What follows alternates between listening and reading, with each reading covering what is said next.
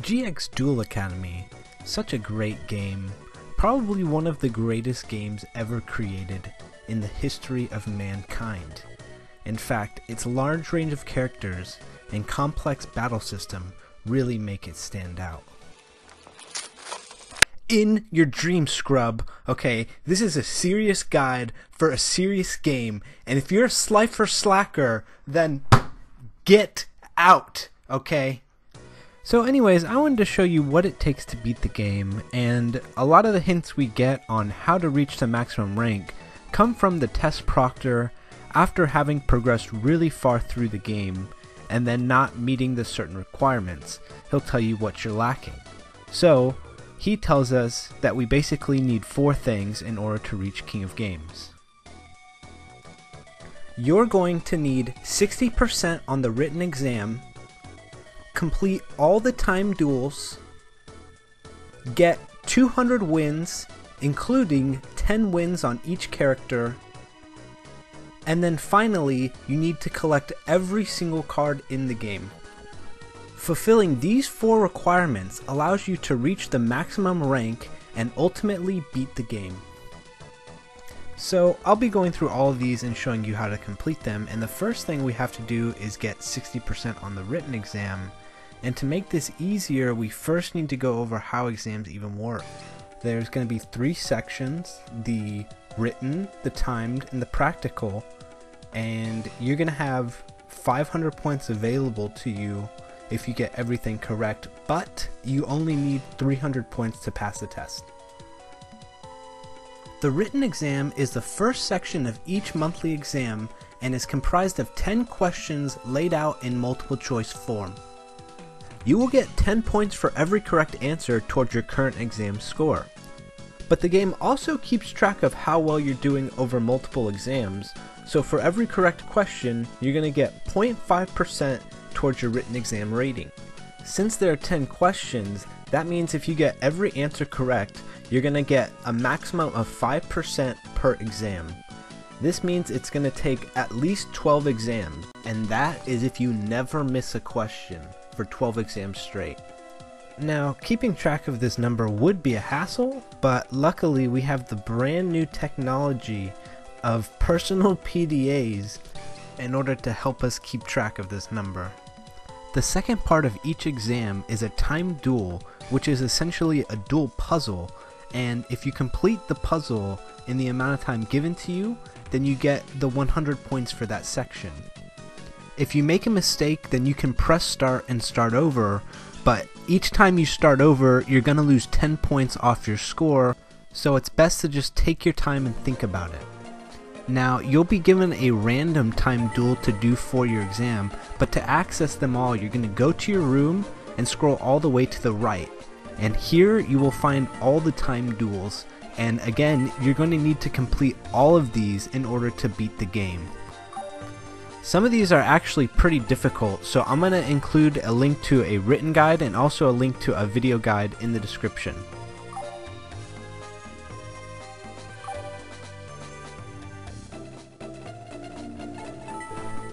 The last part of the exam is always a practical. This means you're given an objective, and you must complete the objective in order to gain points. You actually don't need to win the duel or get all the points from this section. In fact, as you see here, during the spell exam, I played just enough spells to get enough points to get to 300, then you can surrender the duel. Winning the duel and completing the duel doesn't get you anything. You can check this number in the middle of a duel by pressing start and selecting status. The exams really serve as a way to transition in between dorms and update your rank. Passing the test allows you to get into Slifer Red and Ra Yellow pretty much at whatever time you want without any restrictions. However, in order to make it into Obelisk Blue, you must first have 50 wins and complete 50 time duels upon passing the test. Finally, failing the test will give you the rank Dropout Boy and automatically put you in Slifer Red. Next, we need to get 200 wins, including 10 wins on each main duelist in the game. We know there are 18 main duelists, and defeating each 10 times will give you 180 wins. This means you have 20 wins that you can get on whoever throughout the game. Some of these characters can be dueled regardless of what dorm you're in, while others require you to be in their specific dorm in order for them to appear. You will also need to unlock three of these characters as they do not appear automatically. In order to unlock Blair and Gerard, you must first spend a certain amount of time in the Slifer Red dorm. After spending enough time in Slifer Red, they will appear as new question marks to be found. I recommend staying in Slifer Red until both of them appear and then moving on to Ra Yellow. If you've stayed in Slifer since day 1, then Blair will appear January 6 while Gerard appears February 3rd. Lastly, in order to unlock Zane, you must first meet requirements in order to get his unlock event to occur. Keep in mind that this event doesn't automatically occur after meeting the requirements, so it could take a couple of tries to get it to trigger. Eventually, meeting Cyrus on the weekend will lead to a situation where he calls you Jaden, and then take you to a duel that is similar to a time duel in which you can't make any wrong moves and must complete. After completing this, Cyrus will drop his power bond and Alexis will tell you about Zane. Later on in the day, you will be forced to confront Zane by the ocean in which you have to duel him. Luckily, you can win or lose in order to unlock him. The last thing to do is to collect all the cards in the game. And since there are so many it can seem overwhelming, but it's really about buying the packs that you have available to you. You want to collect all of the basic sets, which you get automatically as time progresses through the game. Following the basic packs, you have your tutorial packs, which can be unlocked by viewing the tutorial associated with the pack theme. You can watch these tutorials on your first day during your conversation with Cyrus, or you can find these tutorials in your room, and you're going to need to watch 9 tutorials in order to unlock all these packs. Of the tutorial packs, there are 5 packs that unlock another pack once you collect 90% of the set. These are Fusion's Spell Collection 1 and 2, and Trap Collection 1 and 2. In order to unlock a pack later in the game, we're going to need at least 90% of all the sets we have available to us in order to do that. In order to check how much of a set that you've collected, once you buy a pack, you will see a number in the upper right hand corner. This tells you how much of the set that you currently have. I would aim for at least 92% or higher on all the sets. The rest of these packs are unlocked through meeting certain conditions or completing certain events. You will actually unlock a lot of these packs already over the course of getting your 200 wins, and remember these are only available on Saturday. The Tuesday visit also includes some exclusive packs, and these are obtained on your road to 200 wins, but it also includes a very special pack, Dorothy's Gift. Once you buy enough of all the sets that you've collected, you will unlock Dorothy's Gift, and this is the most important pack in the game. Your card collection percentage is displayed in your PDA right above your written exam score. Once this number reaches 90%, you will be able to buy Dorothy's Gift in the shop on Tuesdays. Now, it's expensive and you can only buy 10 of these packs per week, but your pulls from these packs will have an extremely high likelihood of giving you cards that you don't already own. What this means is that we can collect every single card in the game without having to unlock every single pack in the game. Also, this is the only pack that contains Shining Flare Wingman, so you will need to buy it eventually.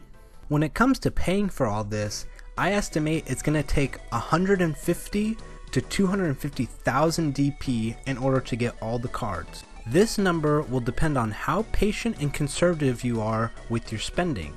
For instance, you can save a lot of money by buying packs one or a few at a time instead of in large amounts. You can also save before your shop visits, and then reset if you don't get the cards you want. If you're aiming to do this as cheaply as possible, there are 6 more packs in the game that you can unlock.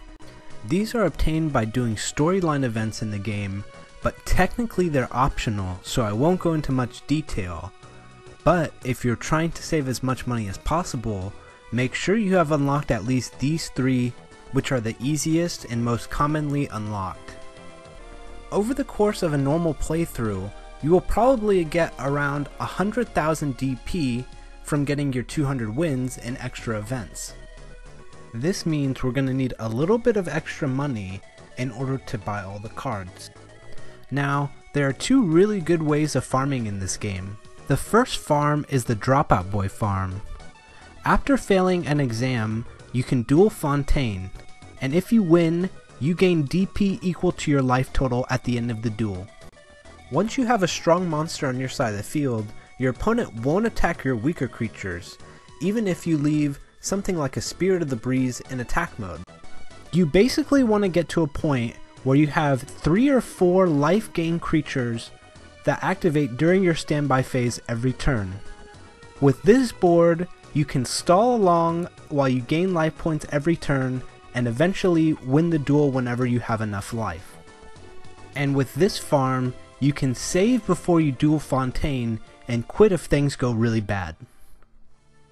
The second type of farm is called the Primal Seed Farm, and while this is a little bit expensive to set up, it will definitely pay off in the long run. Using a combination of these 5 cards plus a machine monster allows you to infinitely loop the limiter removal in order to pump your machine creature up to a really high attack value. The amount of DP you earn from this farm is dependent on the attack value of the machine creature you use. The higher attack, the more money you'll get.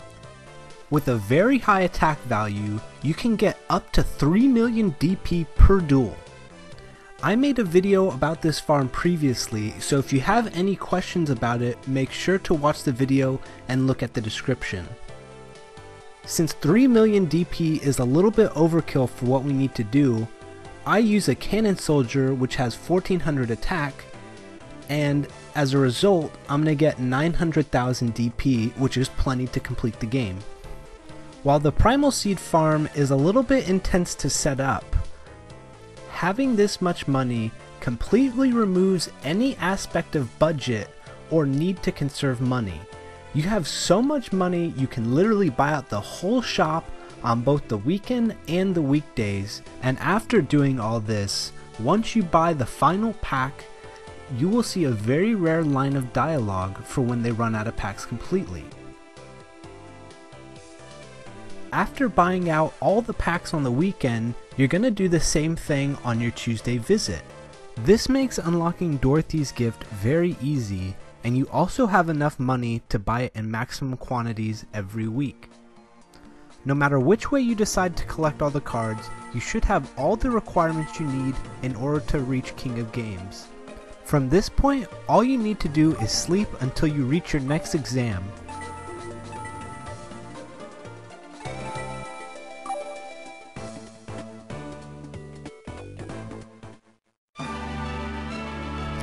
Upon completing and passing the last exam, the test proctor will confirm that you have reached all the requirements and then finally give you that coveted King of Games rank.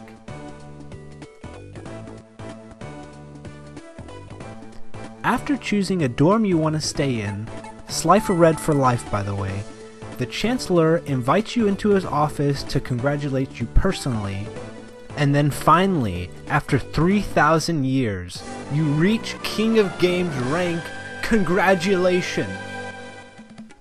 And so yeah, that's how you beat the game, and if you have any problems or need any help, make sure to ask me in the comments. I love responding to the comments.